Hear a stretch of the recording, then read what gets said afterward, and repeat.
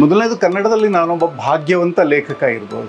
ನನಗೆ ಸಿಕ್ಕಿರೋಷ್ಟು ಓದುಗರ ಪ್ರೀತಿ, ನಾನು ಅದು ಬರೀ ಪತ್ರಗಳು ಫೋನ್ ಮತ್ತು ಮೆಸೇಜ್ಗಳ ಮೂಲಕ ಅಲ್ಲ, ಕರ್ನಾಟಕದಲ್ಲಿ ಎಲ್ಲಿಯಾದರೂ ಹೋದರೆ ನನಗೆ ಜನ ನನ್ನ ಲೇಖನಗಳ ಮೂಲಕ, ನನ್ನ ಪುಸ್ತಕಗಳ ಮೂಲಕ ನನಗೆ ಗುರುತಿಸಿ ಮಾತಾಡ್ತಾರೆ.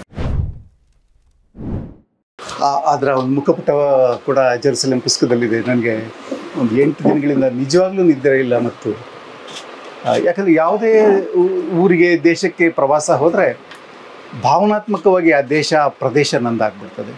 ಜೋಶಿಮಠ ಕುಸಿದಾಗ ನನಗೆ ಜೀವ ತಡಿಲಿಲ್ಲ, ನಾನು ಪ್ರಜಾವಾಣಿಯಲ್ಲಿ ತಕ್ಷಣ ಬರದೆ ಕುಸಿಯುತ್ತಿರುವ ಜೋ ಜೋಶಿಮಠ ಅಂತ. Because Joshimath is in my heart ಹಾಗೆ, ಸೊ ತಮ್ಮ ಒಪ್ಪಿಗೆ ಇದ್ದರೆ ನಮ್ಮ ಈ ಚರ್ಚೆಯನ್ನು ಆ ತಬ್ಬಲಿಗಳಿಗೆ ಅರ್ಪಿಸೋಣ. ಎರಡನೇದು, ಅರವತ್ತು ಪುಸ್ತಕ ಬರೆದು ಅಂತ ಆಪಾದನೆ ಮಾಡಿದ್ರು, ಅರವತ್ತಿಲ್ಲ. ಯಾಕಂದರೆ ಜಾಸ್ತಿ ಬರೆಯೋದು ಕ್ರೈಮ್ ಅಂತಲೇ ಅಂದ್ಕೊಂಡಿದ್ದೀನಿ ನಾನು ನನ್ನ ಮಟ್ಟಿಗೆ. ಒಂದು ಮೂವತ್ತು ಪುಸ್ತಕ ನಂದಿರ್ಬೋದು ಮೂವತ್ತು ಎಡ್ ಮೂವತ್ತಲ್ಲ ಒಂದು ಹತ್ತು ಹದಿನೈದು ಎಡಿಟೆಡ್ಡು ಗುರುಗಳಿಗೆ ಆ, ಕಟಕಟೆಯಲ್ಲಿ ನಿಲ್ಲಿಸೋಕ್ಕೆ ಅರವತ್ತು ಮಾಡಿದ್ದಾರೆ ಅವರು. ಆ, ಒಂದು ಬಗೆಯಲ್ಲಿ ಎರಡು ಎರಡು ಮೂರು ನಿಮಿಷ ಅಷ್ಟೇ ನಾನು ತಗೊಳ್ತೀನಿ. ಯಾಕಂದರೆ ನಾನು ನಿಮ್ಮ ಮಾತನ್ನು ನಿಮ್ಮ ಟೀಕೆ ಟಿಪ್ಪಣಿಗಳನ್ನು ಕೇಳೋಕ್ಕೆ ಬಯಸ್ತೀನಿ. ಮೊದಲನೇದು, ಕನ್ನಡದಲ್ಲಿ ನಾನೊಬ್ಬ ಭಾಗ್ಯವಂತ ಲೇಖಕ ಇರಬಹುದು ನನಗೆ ಸಿಕ್ಕಿರೋಷ್ಟು ಓದುಗರ ಪ್ರೀತಿ, ನಾನು ಅದು ಬರೀ ಪತ್ರಗಳು, ಫೋನ್ ಮತ್ತು ಮೆಸೇಜ್ಗಳ ಮೂಲಕ ಅಲ್ಲ, ಕರ್ನಾಟಕದಲ್ಲಿ ಎಲ್ಲಿಯಾದರೂ ಹೋದರೆ ನನಗೆ ಜನ ನನ್ನ ಲೇಖನಗಳ ಮೂಲಕ, ನನ್ನ ಪುಸ್ತಕಗಳ ಮೂಲಕ ನನಗೆ ಗುರುತಿಸಿ ಮಾತಾಡ್ತಾರೆ. ಆ ಕಾರಣಕ್ಕಾಗಿ ನಾನೊಬ್ಬ ಬಹಳ ಅದೃಷ್ಟವಂತ ಲೇಖಕ ಇರ್ಬೋದು. ಯಾಕಂದರೆ, ನನ್ನ ಪುಸ್ತಕಗಳ ಪುಸ್ತಕಗಳ ಯೋಗ್ಯತೆಗೆ ಮೀರಿ ನನಗೆ ಪ್ರೀತಿ ಸಿಕ್ಕಿದೆ. ಅದಕ್ಕಾಗಿ ನಾನು ಬಹಳ ಕೃತಜ್ಞನಾಗಿದ್ದೇನೆ. ನಾನು ಬರಹದಲ್ಲಿ ನಾಲ್ಕು ಹಂತಗಳನ್ನು ನಾನು ದಾಟಿ ಬಂದೆ ದಾಟ್ತಾ ಇದ್ದೀನೋ ಏನೋ ಗೊತ್ತಿಲ್ಲ. ಆರಂಭದಲ್ಲಿ ನಾನು ಕತೆಗಳನ್ನು ಬರಿತಾ ಇದ್ದೆ. ಅದನ್ನು ಆತ್ಮಕಥೆಯಲ್ಲಿ ಬರೆದಿದ್ದೀನಿ. ಅದು ಕಡ್ಡಾಯವಾಗಿ ಅದರ ನಾಯಕ ಪ್ರೇ ಪ್ರೇಮ ಭಗ್ನ ಆಗ್ತಾ ಇತ್ತು. ಆ, ಕತೆಗಳ ಹೆಸರು ಕೂಡ ತಳ ಒಡೆದು ಬಿರುಕು ಈ ಥರ. ಆ ಥರ ಇತ್ತು. ಅದನ್ನು ಒಂದೇ ಒಂದು ಕಥೆಯನ್ನು, ಅಕ್ಷರವನ್ನು ಓದದೇ ಪ್ರ- ಪ್ರಕಟ ಮಾಡುವ ಇಬ್ಬರು ಸಂಪಾದಕರು ನನಗೆ ಸಿಕ್ಕಿದ್ರು. ಅದು ಪಾಟೀಲ್ ಪುಟ್ಟಪ್ಪನವರ ಪ್ರಪಂಚ, ಇಲ್ಲಿ ಕಲ್ಲೇ ಶಿವೋತ್ತಮರಾವ್ ಅವರ ಜನಪ್ರಗತಿ.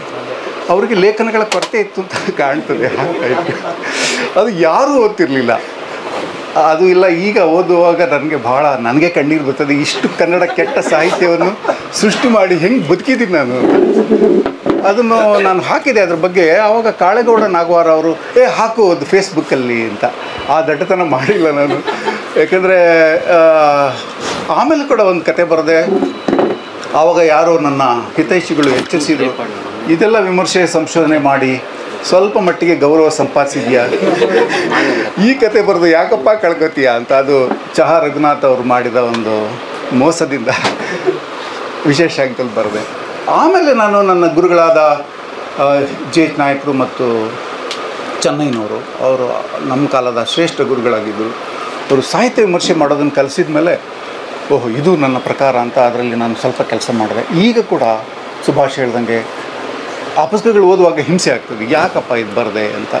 ಸಾಹಿತ್ಯ ವಿಮರ್ಶೆ ಬಹಳ ಲಿಟ್ರರಿಯಾಗಿ ಬರೀಲಿಲ್ಲ ನಾನು ಆರಂಭದಲ್ಲೇ ಪ್ರತಿ ಸಂಸ್ಕೃತಿ ಬಹಳ ಲಿಟ್ರರಿಯಾಗಿಲ್ಲ ಅದು. ಆದರೂ ಅದನ್ನು ಬಿಟ್ಟು ಕೊಟ್ಟೆ ನಾನು. ಆಮೇಲೆ ಬಿಟ್ಟುಕೊಟ್ಟು ಕನ್ನಡ ವಿಶ್ವವಿದ್ಯಾಲಯಕ್ಕೆ ಹೋದ್ಮೇಲೆ ನಾನು ಸಂಶೋಧನೆ ಮಾಡಿದೆ.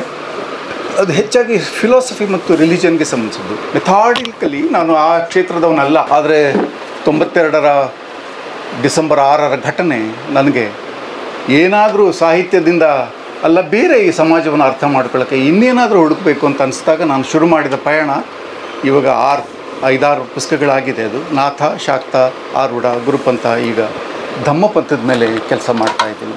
ಅದು ಬಹುಶಃ ಮುಂದಿನ ವರ್ಷ ಬರ್ಬೋದು. ಅದು ಕೊನೆ ಸರಣಿ ಇಲ್ಲಿ ಕೊನೆ ಪುಸ್ತಕ ಆಗ್ಬೋದು. ಅದು ಏನನ್ನ ಎರಡನೇ ಹಂತ.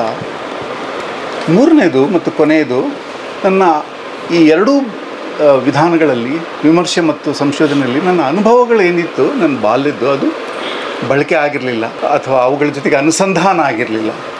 ನಾನು ಪ್ರವಾಸ ಕಥನಗಳನ್ನು ಬರೆಯೋಕ್ಕೆ ಶುರು ಮಾಡಿದ ಮೇಲೆ ಅಥವಾ ಈ ಥರ ಆತ್ಮಕಥೆಯ ಬರಹಗಳನ್ನು ಬರೆಯೋಕ್ಕೆ ಶುರು ಮಾಡಿದ ಮೇಲೆ ಓದುಗರು ತುಂಬ ತುಂಬ ಬೇರೆ ರೀತಿಯಲ್ಲಿ ಬೇರೆಯೇ ಓದುಗರು. ಅದೊಂದು ಸ್ವಲ್ಪ ಅಕಾಡೆಮಿಕ್ ವಲಯದಲ್ಲಿತ್ತ ಮೊದಲ ಎರಡು ಪ್ರಕಾರಗಳಿಗೆ ಅಕಾಡೆಮಿಕ್ ವಲಯದ ಓದುಗರು. ಇದು ಬೇರೆಯೇ ಓದುಗರು ಮತ್ತು ಹೆಚ್ಚಾಗಿ ಮಹಿಳೆಯರು. ನನ್ನ ಹೆಂಡತಿ ಯಾವಾಗಲೂ ಹೇಳ್ತಿರ್ತೇನೆ. ಅನಂತಮೂರ್ತಿ ಬಿಟ್ಟರೆ ಹೆಂಡತಿನ ಹೆಚ್ಚು ಕರ್ಕೊಂಡು ತಿರುಗಿದ್ದು ನಾನು ಕನ್ನಡಿಗರಲ್ಲಿ, ಲೇಖಕರಲ್ಲಿ. ಮತ್ತು ಹೆಚ್ಚು ಮುನ್ನುಡಿ ಬರೆದಿರೋದು ಮಹಿಳೆಯರಿಗೆ ನಾನೇ. ಓದಿದ್ರು ನನಗೆ ಲಲಿತ ಪ್ರಬಂಧ ಪ್ರಕಾರ ಒಂದು ಹೆಣ್ಣು ಪ್ರಕಾರ ಇರ್ಬೋದಾ ಅಂತಲೂ ಅನಿಸ್ತಾ ಇದೆ. ಯಾಕಂದರೆ ಬಹಳ ದಿನ, ಏ, ನಮ್ಮನೇಲಿ ಗುಬ್ಬಿ ಗೂಡು ಕಟ್ಟಿದೆ, ನೀನು ಬರೆದಿದ್ದು ಹಿತ್ತಲು ಜಗತ್ತು ಕನೆಕ್ಟ್ ಮಾಡ್ಕೊಳ್ತಾ ಇದ್ದೀನಿ. ಆತ್ಮಕತೆ ಓದಿದ ಮೇಲೆ ಕೂಡ ಬಂದಿರೋ ಬಹಳಷ್ಟು ಪತ್ರಗಳು ಗಂಡಸು ಬರ್ದಂಗಿಲ್ಲ ಅಂತ ನನಗೆ ನನ್ನ ಗಂಡಸ್ತಿನ ಬಗ್ಗೆ ಶಂಕೆ ಬರೋ ಥರ ಆಗೋಯ್ತು. ಇದೇನು ಗಂಡಸ್ತರ ಇಲ್ಲ, ಇದು ಗಂಡಸ್ ಗಂಡು ಪ್ರಧಾನ ದನಿ ಇಲ್ಲ ನಿನ್ನ ಆತ್ಮಕತೆಯಲ್ಲಿ ಅಂತ. ಸೊ ಈ ಮೂರನೇ ಪ್ರಕಾರ ಮಹಿಳೆಯರಿಗೆ ಯಾಕೆ ಪ್ರಿಯವಾಗಿದೆ ಅಂತ ನನಗೆ ನಿಜವಾಗ್ಲೂ ಗೊತ್ತಿಲ್ಲ. ಬಟ್ ಖಂಡಿತ ಈ ಮೂರನೇ ಪ್ರಕಾರ ಸುಭಾಷ್, ಬೇರೆ ಒಂದು ಸಂತೋಷ ಕೊಟ್ಟಿದೆ ಲೇಖಕನಾಗಿ. ಮತ್ತು ಅದ್ರ ಬಗ್ಗೆ ತಮ್ಮ ಪ್ರತಿಕ್ರಿಯೆಗಳನ್ನು ನಿಷ್ಠುರವಾಗಿ ಪ್ರತಿಕ್ರಿಯೆಗಳನ್ನು ಕೇಳೋಕ್ಕೆ ನಾನು ಬಯಸ್ತೇನೆ. ನಮಸ್ಕಾರ.